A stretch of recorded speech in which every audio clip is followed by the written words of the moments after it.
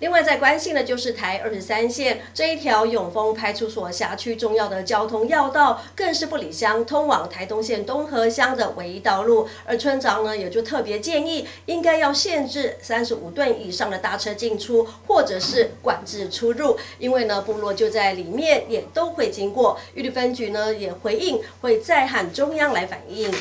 另外，在关心的就是台二十三线这条是永丰派出所辖区重要交通要道，更是布里乡通往台东县东河乡的唯一道路。村长也建议，应该要限制三十五吨以上的大车进出，或者是管制出入，因为部落就在里面，也都会经过。玉里分局也回应，会在与中央反映。我建议永丰派出所，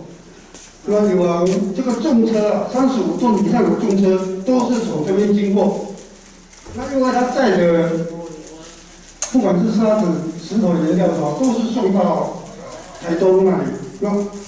从我们这边经过，能不能有些一些部分能不能仿制？在我们这个地方是很狭窄。第一个啦，先这个我先了解一下，说他们能不能走这一条路上。然后第二个部分是，如果他们可以走的话，那我这部分再把这个建议带回去，因为他这可能要在档案汇报里面提出来。哦，由县府那边做一个公告，哎，这个部分可能就是我没办法说，但是我警察自己去定这个规则这样子，哎，所以说我必须把这个问题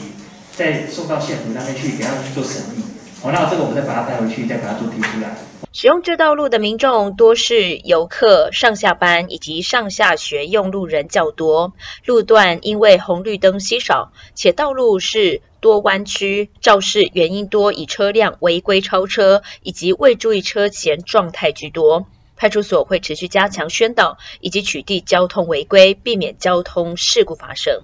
记者高双双富里乡采访报道。